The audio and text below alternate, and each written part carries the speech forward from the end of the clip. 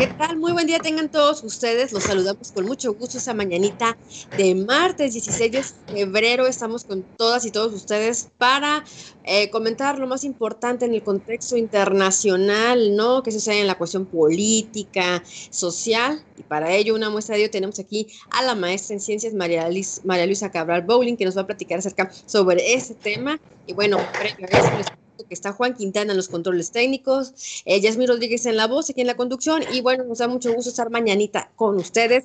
Estamos, recuerden, en el 1180 AM, estamos en mixlr.com diagonal Radio Webs y usted nos ve en este momento también en Facebook Comunicación Radio Webs. Hola maestra, ¿qué tal? Muy buenos días, me da mucho gusto tenerla esta mañanita. Igualmente, buen día, ¿cómo están? Bien, bien, bien. Y bueno, aquí saludándola eh, un poquito, algo de, de, de frito, pero no tanto. Eh, contentos de estar una vez iniciando mañana y con noticias internacionales. Y bueno, los mitotes del contexto internacional que nos traen. ¿Qué pasa, maestra, en esta mañana? A ver qué nos va a platicar. Pues sí, quería comentar un poquito sobre, así como un panorama muy general, ¿no? De cómo está la situación ahorita que Estados Unidos, bueno, ya sabemos, en medio de la pandemia y de la crisis económica, que ya sabemos también, pero a lo mejor vale la pena recordarlo, que la crisis no la provocó el coronavirus, sino que ya venía desde antes y el coronavirus solamente la aceleró y la profundizó. Pero tenemos una crisis de Estados Unidos, una crisis hegemónica, ¿no? Este, occidental y el surgimiento pues, de China y de Rusia y de un bloque que vamos a comentar. ¿no? Eh, bueno, de las relaciones de Estados Unidos eh, ha habido cambios con Biden, hay cosas que no han cambiado. Eh, con, ya sabíamos con Biden que incluso él mismo dijo, ¿no? América is back, o sea, América está de regreso, o sea, la que ya conocemos, el Estados Unidos de siempre, ¿no? Con, con Donald Trump pues era, cambiaron muchas cosas, pero lo que hizo fue desnudar ¿no? prácticamente la, eh, la, política hegemónica de Estados Unidos. ¿no? Y bueno, con la crisis, con la crisis de Estados Unidos, con la crisis del coronavirus, han cambiado algunas cosas. En Oriente Medio, pues Estados Unidos se tuvo que salir, o sea, no pudo, eh, con Siria, eh, Siria ganó ¿no? frente a Estados Unidos con la ayuda de Rusia en Irak después de una ocupación de muchos años, pues, o sea, siguen ahí y no se van a salir y ahora ya francamente hablan de quedarse por el petróleo, por ninguna otra cosa, no es la democracia ni es la nada, es el petróleo, pero este, ya todos los, los, la clase gobernante, los, los, distintos, ahora sí que organismos constitutivos del, del gobierno, le han pedido a Estados Unidos que se retire en todos los tonos, y la sociedad también, incluso sus aliados, ¿no? Ya, ya, ya ha habido atentados a las bases norteamericanas, o sea, ya también dirá que lo están corriendo. Con Arabia Saudita, que su aliado, sus dos aliados más importantes en el Medio Oriente, pues son, paradójicamente, ya sabemos, Israel y Arabia Saudita. ¿no? O sea, Israel y Arabia Saudita, que es la cuna del Islam, pero resulta que es el aliado más cercano a Estados Unidos. Pero también ahí ha habido cambios, ¿no? O sea, em, de hecho, Biden retiró el apoyo a la guerra que estaba emprendiendo Arabia Saudita contra Yemen, que es una de las, o sea, parte de la península arábiga, en donde también hay mucho petróleo, y además pues es una zona que, estratégica para ellos. Pero el caso es que Estados Unidos le retira bastante apoyo, ya habló incluso de apoyar la política de dos estados en, en Palestina, ¿no? En Palestina e Israel, cosa que no les gusta nada, y Israel está realmente en una situación muy delicada porque pues su principal, su principal aliado, que era este, Kushner, el, el gobierno de, de, Trump, pues ya, le, eh, ya no los puede apoyar, ¿verdad? Ni a Israel ni a Arabia Saudita. Entonces ahí hay una relación muy delicada y muy compleja, ¿no? Luego, eh, con América Latina, pues Estados Unidos ha retomado las amenazas contra Venezuela, las amenazas contra Cuba. De hecho, ahorita lo interesante es que hay un relator de Naciones Unidas sobre, justamente sobre, para analizar el problema de las sanciones económicas a Venezuela, que declaró por primera vez este, un representante de una organización internacional que las sanciones han tenido efectos devastadores en la población. Entonces, eso, es, es interesante. Con Cuba, pues nuevamente, ¿no? La amenaza, lo acusa de terrorista, etcétera, etcétera. No, no ha dicho nada porque em, ya vimos la vez pasada que gran parte del gabinete de Biden es Obama, ¿no? Que decíamos que incluso la administración Obama 3.0, ¿no? Pero, pero este, con Cuba, pues a pesar de que Obama había reanudado relaciones, pues no han dicho nada, pero lo siguen tratando mal. O sea, ¿qué es la característica ¿no? del, del America Back, ¿no? O sea, claro. claro, y luego aquí esta parte maestra, ¿no? Eh, eh, eh, antes, bueno, en campaña más bien, ¿no? Platicar acerca de cómo, de cómo ellos iban a, a, ver rápidamente el tema de los migrantes, nota que menciona Cuba, toda Latinoamérica, ¿no? Y, y han estado especulando en el sentido de que es un tema muy complicado, vamos con, con calma. Y todo lo que prometió, lo que siempre nos... Ajá, sí. Así es. Sí, y bueno, contra Rusia, pues regresa todo el ataque contra Rusia, ¿no? O sea, toda la rusofobia en realidad. Ese bloqueo, ¿no? Que mantenían anteriormente. y bueno, rivalidades, ¿no? Este, la confrontación se ha agudizado por el caso este de Navalny, el envenenado que después detuvieron, etcétera. Ahí fíjate lo interesante es que en realidad Navalny es como la oposición aliada de Occidente en Rusia, pero en Rusia no representa más que un porcentaje mínimo de, de apoyos. la principal oposición de Rusia, quien en todo caso estaría más cerca de, de ganar elecciones, fíjate, sería el Partido Comunista. Y obviamente eh, de eso no hablan en Occidente, ¿no? Ese es un asunto bien interesante, o sea, tiene el doble de apoyo el Partido Comunista que Navalny, pero Navalny es la noticia, ¿no? De la oposición, víctima, ¿no? Del, del régimen y demás. Exactamente. Y la otra cuestión es que en realidad tanto Biden como, perdón, tanto Navalny como Putin, en realidad los dos representan a la élite oligarca de Rusia, o sea, no hay mucha diferencia.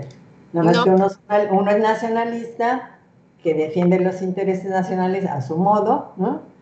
que por cierto bastante exitoso, es uno de los líderes más respetados, ¿no? Exactamente. Y que, incluso ha logrado desplazar a Estados Unidos del Medio Oriente. Ya sí. que, Ajá. Creo que aquí deberíamos hacer un programa especial también, maestra, acerca sobre el, eh, este tema también en Rusia tan, tan controvertido, ¿no? En el sentido de las limitaciones que tiene el país y bueno, eh, ahora sale a resultar Navalny, ¿no? Que hoy, en, en eh, hoy en, los medios internacionales saca la nota acerca de que la Fiscalía rusa impide imponer multa a Navalny por difamación. Entonces ahí va. Sí, sí exacto. Este, es un país del que sabemos muy poco y que es súper importante ahorita. Eh, Rusia es ahorita una potencia militar, es la primera potencia militar, ya superó a Estados Unidos, y es una potencia energética. Y es una potencia energética que está en el mismo continente que Europa. Entonces es la reserva energética de Europa. Y ahí es donde está el gran conflicto. Por eso ahorita otro de los problemas de las relaciones internacionales ahorita es justamente que Europa está entre la espada y la pared, porque está entre seguir siendo aliado de Estados Unidos y tener trato preferencial con Estados Unidos, o acercarse cada vez más a Rusia o China, en esa alianza y en ese proceso de integración económica y de, de todo tipo, ¿qué es lo que más les conviene? Porque finalmente es, es, como nosotros, nosotros no podemos escoger entre aliarnos con Estados Unidos y con Francia. ¿Por qué? Pues porque somos vecinos de Estados Unidos. Europa es vecina de Rusia, punto. Si ellos le proporcionan, que es el gran problema del, del famoso oleoducto del Nord Stream 2, ¿no? Les, les, están dando petróleo que llega a su territorio directo, mucho más barato que el que le manda Estados Unidos desde el otro lado del Atlántico, pues obviamente Alemania, fíjate, es bien interesante, ahorita Alemania está, este, sí, con todo el cuento este de Navalny, pues sí, que sanciones a Estados Unidos exigiéndole que lo liberen y que no sé qué, pero en el, respecto al Nord Stream están muy claros, vamos a defender nuestros interés nacionales, nuestro interés nacional es tener gas barato de Rusia, punto. Y los han sancionado y los han amenazado y los han... Pero Alemania y Europa ha sido claro en eso, ¿no? O sea, el, el Nord Stream va desde el norte de Rusia por todo el Báltico y llega directo al norte de Alemania, muchísimo más barato. Entonces, pues no pueden ir en contra de sus propios intereses, ¿no? Entonces ahí está ese asunto de Europa que está realmente ahí en medio. O sea, ahorita eh, quizá nosotros pues no tenemos ni para dónde hacernos, ¿no? Estamos del lado de Estados Unidos, punto, porque pues es nuestro vecino. Pero Europa ahorita está eh, eh, ahí en medio, ¿no? Del, problema, porque ahorita lo que está surgiendo es una potencia económica. De hecho, ya están diciendo que, que la hegemonía China en la economía global se adelantó ya y ya este, superó a Estados Unidos, ¿no? Con esto del coronavirus, porque ellos tuvieron menos este, afectaciones, han retomado su crecimiento por muchas razones, ¿no? Se me fue la imagen. No, pero aquí estamos, maestra. Eh, otro tema aquí y, tiene que ver con Estados Unidos, lo que usted comentaba hace un momento, ¿no? Que que si bien se está perdiendo como hegemonía, hegemonía ya no lo es, ya no lo representa ¿no? a nivel mundial, entonces sucede aquí algo importante, ¿no? Que eh, en el caso de México, pues no, no, mm, si antes nos iba muy mal, hoy ya no representa tal vez un caso tan importante, no somos tan importantes, ¿no? En este sentido. Sí, somos, somos quizá más importantes ahora, pero ah. no se pueden pelear con nosotros, esa es la diferencia, o sea, Primero, tan fuertes. Es, es, como nosotros también, como lo ha dicho muy claramente López Obrador. O sea, tenemos una integración económica tan fuerte y tan profunda que ya no nos podemos pelear. O sea, tan de aquel lado de este. Y ahorita, fíjate, es muy interesante, incluso con Canadá estaba viendo que Canadá está cerrando sus fronteras, de no sé qué, que el coronavirus, todo esto, pero no los trabajadores agrícolas mexicanos, porque los necesitan. Entonces, los trabajadores agrícolas mexicanos que están yendo por decenas de miles, ¿no? Este, tienen la puerta abierta porque son indispensables, o sea, son los que les producen los alimentos en el campo. Entonces, este, eso es bien interesante, o sea, también, este, pues sí, nos han maltratado mucho, pero ahora nos toca pues algunas ventajas, ¿no? En ese sentido. Bueno, entonces Europa pues sí está entre la espada y la pared, ahí hay en los conflictos más importantes que reclama Estados Unidos, supuestamente la posición de prácticamente a Alemania y a, la Unión Europea, es la posición frente a Rusia, ¿no? O sea, que les está queriendo poner sanciones y negocian con Rusia el asunto de Ucrania, ¿no? El asunto de la Malni, pero la realidad es que se está dando un acercamiento, y no solamente un acercamiento, por ejemplo, el caso de Italia es muy interesante porque en Italia ya hay inversiones muy fuertes chinas en puertos de, de, Italia que son estratégicos para el comercio. Y los chinos, pues, o sea, también, o sea, los italianos también, pues están en una crisis económica terrible. Si llegan inversiones menos condicionadas por lo pronto, ¿no? De China, pues obviamente que las van a admitir. Y entonces también, ahorita con, con el nuevo primer ministro que acaba de, de entrar, que, es, que era pues uno de los pues de los neoliberales bancarios de la Unión Europea, pues a ver qué pasa, ¿no? Pero en realidad, aún con él, hay un acercamiento a Rusia y a China, ¿no? En la que está mucho más complicada y en una situación mucho más debilitada es Gran Bretaña está mucho más castigada por, por todo, pero ahora sí que ellos solitos se echaron la soga al cuello con el Brexit, ¿no? Y bueno, con el trato estilo Trump del coronavirus, pues también, ¿no? O sea, ahí también tienen una crisis terrible y ahora es muy curioso ver a, Boris Johnson defendiendo el Sistema Nacional de Salud, que, que quería, por supuesto, privatizar, ¿no? Pero ahora ha tenido que retomar muchas de las banderas de Corbyn, al que aplastaron acusándolo de cuánta cosa absurda se les ocurrió, ¿no? Y, este, y ahora está retomando muchas de sus banderas y de sus medidas porque el coronavirus los está obligando, ¿no? Pero en todo caso es la más aislada, ¿no? Ahora, aislada, autoaislada de Europa, con una relación pues no muy cercana, vamos a decir, con los demócratas, no tan privilegiada como la que quería Trump, ¿no? Y una situación muy delicada pues frente a, a China y a Rusia, ¿no? Francia también en una situación delicada. Eh, Macron quisiera ser el gran líder del multilateralismo y del europeísmo, pero pues el pobre no tiene ni, ni reconocimiento ahora sí que en su propia tierra, ¿no? Hay una, la sociedad francesa está, pues, casi, casi podemos decir, pues como muchos de nosotros, ¿no? Eh, frente a la pandemia, están paralizados, están como que pasmados, ¿no? Y, este, y con muchos problemas, ¿no? Económicos y, bueno, en fin, ahí está también Francia que no puede tampoco retomar ese liderazgo en Europa, ¿no? Y el asunto importante ahora a nivel internacional es lo que está ocurriendo en Asia, porque en Asia lo que estamos viendo es totalmente lo contrario de lo que vemos del lado de Occidente. De hecho, esto también no lo provocó el coronavirus, ya se estaba dando, este, el crecimiento en China este, es, ya era espectacular, ¿no? ahora se detuvo un poco con el coronavirus, pero es la única gran potencia económica que está creciendo, ¿no? ha construido una serie de acuerdos y de, y, de convenios con, pues, con muchas partes de, Europa. Primero ya se consolidó, vamos a decir, regionalmente, ¿no? Con, con el acuerdo de, de Shanghái, pues tiene este, toda la, todo Asia Central, que es estratégica, ¿no? En el Cáucaso ya absolutamente no hay ningún, eh, ninguna injerencia de Estados Unidos, ¿no?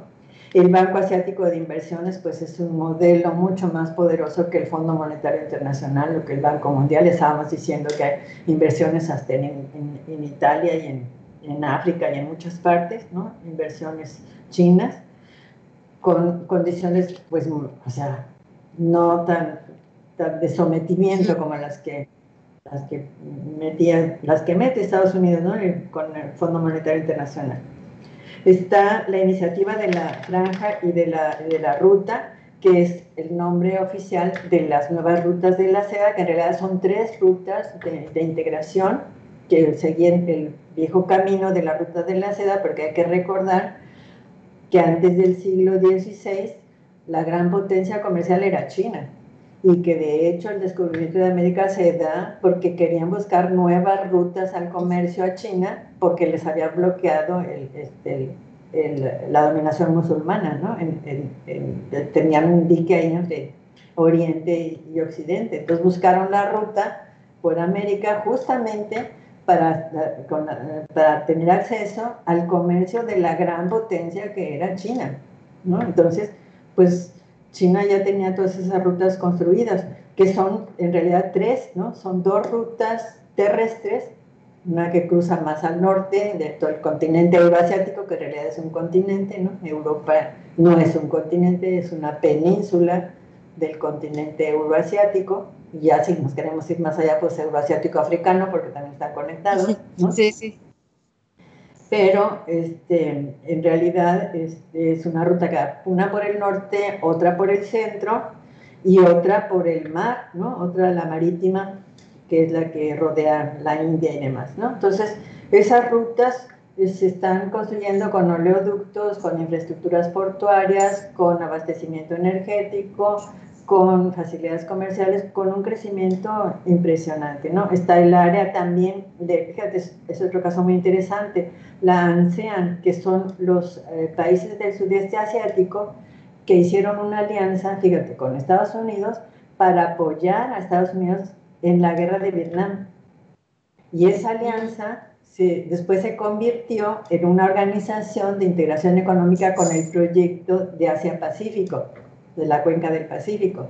Y ahora, en realidad, están insertándose en, este, el bloque de integración con China.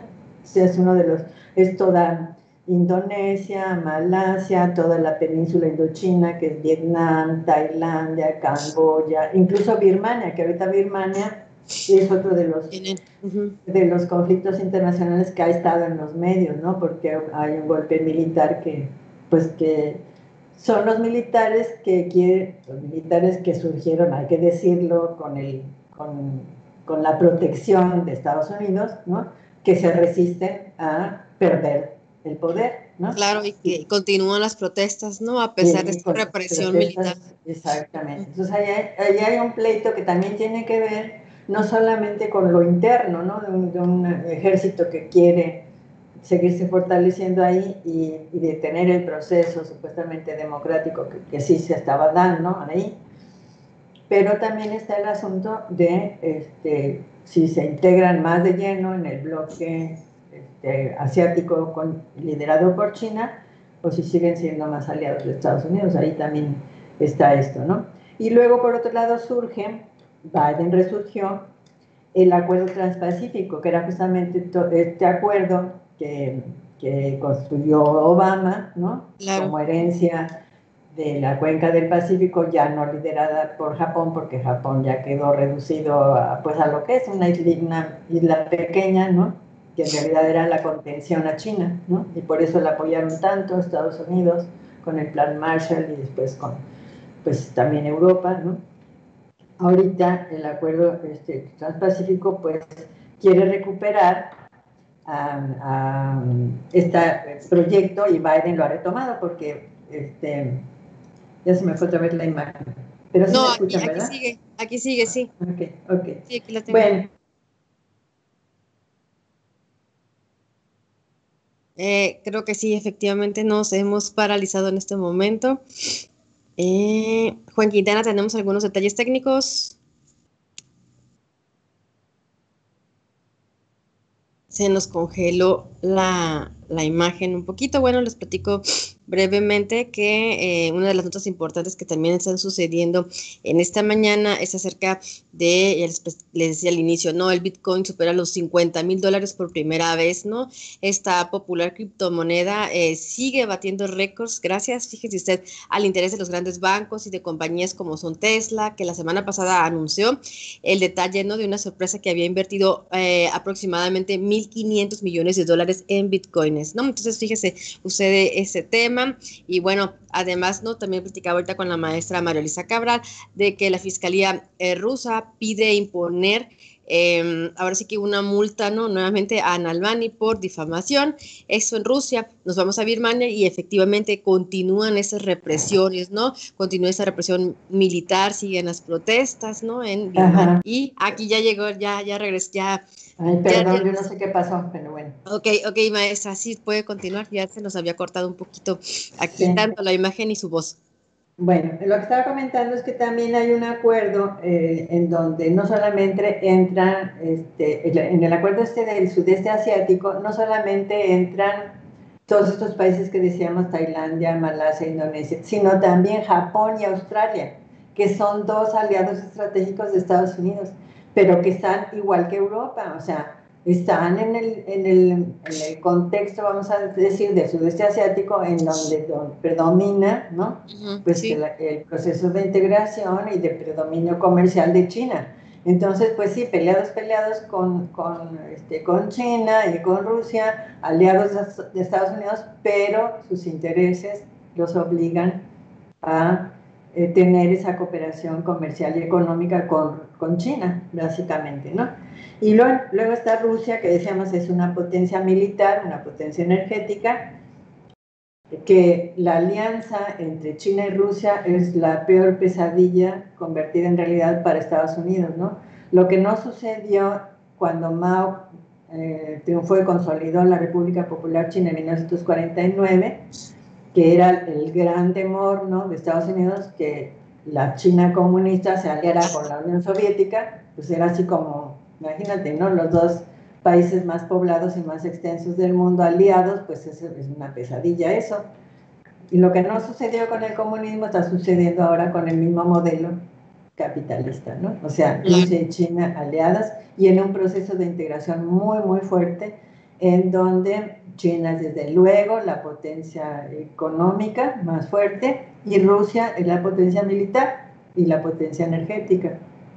Y además es el puente con Europa.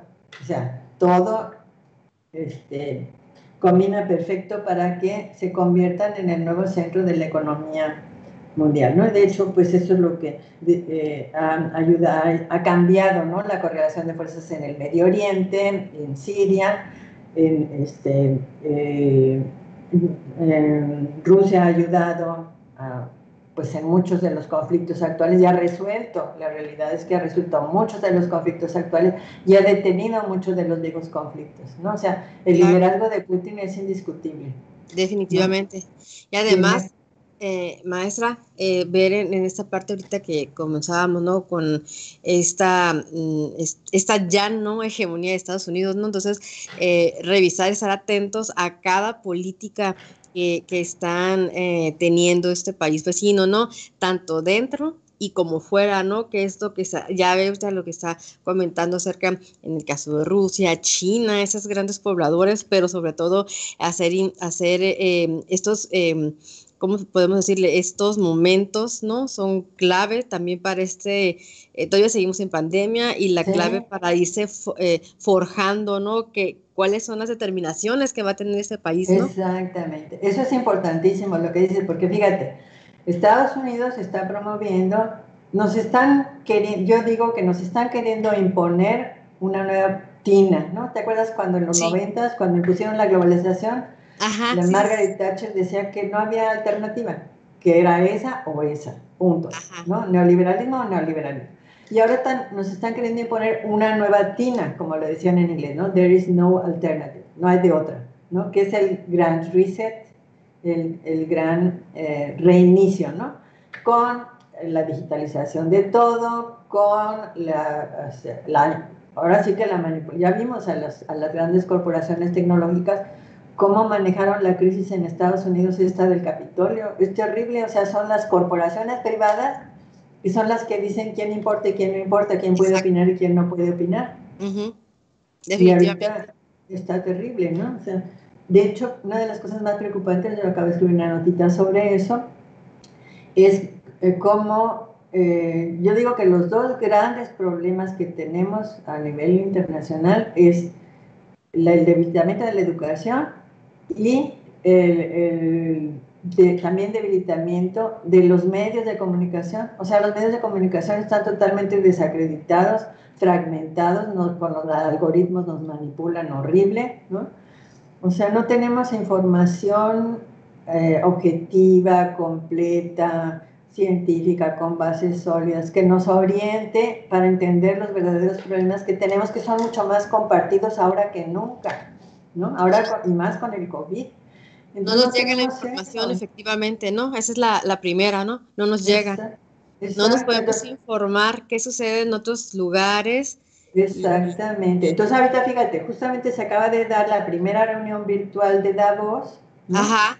Y ahí... se enteró los discursos más importantes, ¿sí? Los discursos más importantes fueron de Xi Ajá, y de, sí. y de, y de, ¿cómo se llama? De Putin, planteando algo completamente diferente a lo que nos quieren imponer como la única alternativa. O sea, completamente diferente al, reset.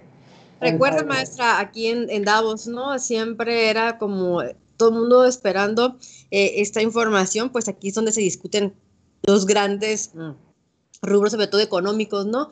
Eh, sociales, políticos, pero bien, la parte económica era la, esencial y Exactamente. ni siquiera en cuestión de medios de comunicación pudimos observar tanta información, fue también algo limitado, no sé a qué se deberá, pero, pero ahorita que mencioné esta parte, ¿no? Un poco polarizada la información y pues, ya me al, algoritmo lo que sé el tema, pero eh, un, poco más este, desconocido, no se enteraron muchas personas acerca de, de, las reuniones, fue un poco parcial. Ajá, de cosas que nos van a impactar a todos, ¿no? Sí. Y bueno, luego también terminar con que en realidad hay dos países, bueno, ya vimos que Medio Oriente y Europa están ahí entre la espada y la pared, incluso este, pues Japón, ¿no? Pero hay dos países que son potencias muy importantes que no están alineadas, diríamos, de ningún lado y que están jugando, que son, son van a ser determinantes, que son Turquía y la India. Turquía está jugando un papel pues estratégico muy de defensa de su interés nacional, muy eh, queriendo retornar, porque además si uno ve en los mapas, eh, si uno quiere ver en el mapa los pueblos de habla túrquica, es impresionante la expansión que tiene, o sea, es pues prácticamente Asia Central, buena parte de Rusia, buena parte del Medio Oriente, ¿no? Que son pueblos túrquicos, pueblos de origen turco. Entonces ellos sienten que tienen que que pueden regresar al nuevo imperio otomano, ¿no? Y pues ahí con un régimen súper autoritario y demás, entonces ahí tenemos también un, pues una, un núcleo de conflicto, ¿no? un poder que está creando conflictos y que efectivamente no, a ratos se acerca con Rusia, a ratos se acerca con Estados Unidos, a ratos chantajea a uno, chantajea al otro. Sí, sí, sí. Eh, así está. Y la India es otro caso. La India es un caso súper interesante porque ahí tienen ahorita, fíjate, después de todo lo que los sacrificios que hizo Gandhi y de todo lo, lo, doloroso que fue la partición de la India cuando se independizó, ahorita Gandhi debe estar revolcándose en su tumba, pobrecito, porque está un líder eh, de, es un modelo nacionalista religioso del hinduismo que es totalmente intolerante contra las otras minorías hindúes, que son musulmanes y que son otros grupos. De hecho, uno de los grupos este, discriminados por el hinduismo son los tamiles, que es este, también de donde vienen los ancestros de, la Kamala Harris, la vicepresidenta de Estados Unidos. Entonces ahí tienen un, un, presidente medio fanático religioso, nacionalista, ¿no? chauvinista incluso, que también a ratos coquetea con Estados Unidos, a ratos lo quiere chantajear, a ratos se acerca con China, a ratos se pone sus moños, o sea, y es una potencia indispensable. Y si pensamos en las rutas de la seda, pues obviamente es, tiene un papel estratégico, ¿no? Y ahí tenemos pues una, son, Turquía y Rusia son como dos incógnitas, ¿no? Que, están saliendo Y, y, además, maestra, no sé si recordará que también tenían altos en el tema del, de la pandemia, ¿no? También cobraban vidas muy, muy, pues obviamente superpoblado eh, India, ¿no? Pero estaba cobrando demasiadas vidas y en este momento, ¿no? Sí, fíjate. No, no, está interesante ver, ¿no? Pues también De hecho, yo creo que India, igual que Brasil, igual que México, es uno de los países más, con más desigualdad. Es impresionante. O sea, hay zonas miserables que uno ni se puede imaginar el grado de miseria y de aislamiento y de, y de todo, ¿no? De falta de, higiene y demás, y, hay, y, tiene, están en la punta de la tecnología en muchas cosas. Exactamente, India sí, como país manufacturero, como esa punta de que dice, ¿no? Y además uno de los grandes aciertos es que en este momento está cobrando también mucho trabajo, ¿no? En la cuestión de, de los laboratorios farmacéuticos, ¿no? Exacto. Fíjate, estaba viendo en Estados Unidos que tienen tan destruido el, el sistema de salud, resulta que los médicos que tienen por honorarios, que son los médicos de, menor categoría, son muchos de origen hindú, porque están súper especializados, pero son, les pueden pagar sueldos muchos más baratos que a los, que a los estadounidenses, fíjate. Eh, y en tecnología digital también, son, en informática son líderes, ¿no? Y bueno, ahorita con la vacuna también, ¿sí? Con Efectivamente. Exactamente, entonces es interesante ver cómo pese al también al de mucha población como China, ¿no? Este, eh, indiscutiblemente han, han este, manejado la pandemia desde otra perspectiva y que podemos ver otras cosas, ¿no? Obviamente, como usted lo ha mencionado en otras veces, ocasiones, perdón, es de que no vamos a ver caso bien de China, pues como también están limitados por el poder político en el que se concentran, ¿no? Entonces, este pero es importante ver o no perder la mira, ¿no? Ante estos países grandes y cómo, cómo se está manejando este momento, ¿no? Y, países lamentables como Brasil, pues eh, ahí sí definitivamente eh, sus Brasil es una tragedia. exactamente. Entonces, este... Brasil es una tragedia completa. Y ahorita que ya se le cayó su aliado Trump, pues está peor todavía, ¿no? Pero ahí la realidad es que Bolsonaro no manda. Los que mandan son los militares. Entonces los militares lo tenían ahí de espantajo, de, de, ahí de títere, ¿no? Pero ya ni, ni de eso le sirve. seguramente habrá un cambio, pero a lo mejor no es un cambio para democratizar, sino para que los militares asuman el control y se deshagan de un líder que está súper desprestigiado adentro y afuera y que claro. abrir la boca y ahora sí que dice barbaridades, ¿no? sí, sí, sí. Ya más nos casi agota el tiempo. Eh, ¿Algo con qué más nos quiere platicar? Pues bueno, eso, que la, tenemos dos políticas muy diferentes, ¿no? La, occidental con este grand reset que nos quieren imponer Y del lado de China, pues se habla de un multilateralismo no selectivo, que eso es muy importante, ¿no? De, fortalecer todos los foros internacionales sin predominios así impositivos, ¿no? Basado en la cooperación, sin confrontaciones.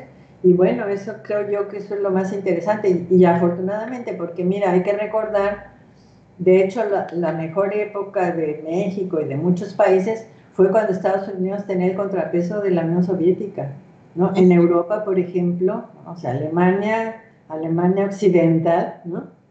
Era, era otra cosa porque tenían que competir contra, contra la Alemania Oriental, contra el comunismo, ¿no? Era como que había que hacer ver claramente las ventajas, ¿no? Pero cuando ya se cayó el socialismo, pues Estados Unidos hizo y deshizo a gusto sin que le importaran, ¿no? Entonces ahorita yo creo que es muy importante que tenga ese contrapeso. Muy importante. Para nosotros, por ejemplo, a muchos países a los que los tiene que convencer de que no se dejen seducir por las inversiones chinas, pues los tendrá que tratar mejor, les tendrá que dar un trato menos abusivo, ¿no? Entonces yo creo que eso es, es, es importante, que haya ese contrapeso. Bueno, pues maestra, le agradecemos la presencia virtual de esta mañanita. Algunos detalles técnicos, pero una charla realmente eh, fenomenal como, como siempre cada que nos, que nos visita ¿no? a nuestro set virtual.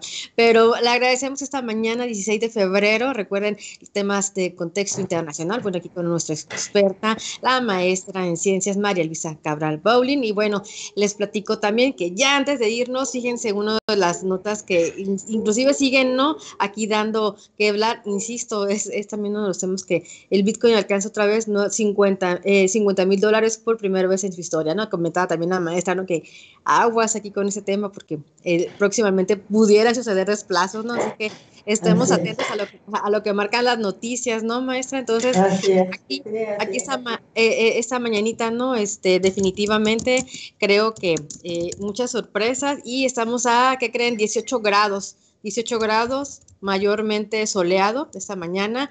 estaremos en el transcurso del día aquí marca igual max, eh, una máxima de 24, 24 grados y bueno, ahí usted va para que de todas formas usted de repente siente calor, no se confíe, así que estaremos aquí al pendiente para platicarles ¿no? sobre estos temas. Y bueno, aquí nos despedimos. Recuerden nomás que otra de las notas importantes que salen en, este, en el día de hoy es acerca de que eh, la OMS avala la vacuna de AstraZeneca esperada en el mundo. Sigue el conflicto electoral en Ecuador por segundo lugar. Miles de peces aparecen muertos en una playa del sur de Chile. Y bueno, ustedes ya vieron los medios de comunicación, ¿no? Eh, México, eh, ola polar deja sin electricidad al norte de México. Eh, hoy nuestro presidente comentaba acerca de que ya está reestructurándose un poquito más del 80%, 70%, 70-80% estaba recuperándose la energía y bueno, estaremos pendientes con estos cortes porque estaremos comentándole acerca de qué, es, qué se está haciendo, ¿no? ¿Qué, hace, qué está haciendo el Centro Nacional de Control de Energía, en el cual aseguró que las áreas estratégicas no serán afectadas y pidió al sector industrial reducir el consumo de energía eléctrica. Bueno, eso más o menos lo que sucede en contexto nacional. Aquí nos despedimos. Muchísimas gracias por estar con nosotros y bueno, recuerde, en sintonía del 1180 de amplitud modulada. Hasta la próxima. Saludos a Juan Quintana en los controles técnicos.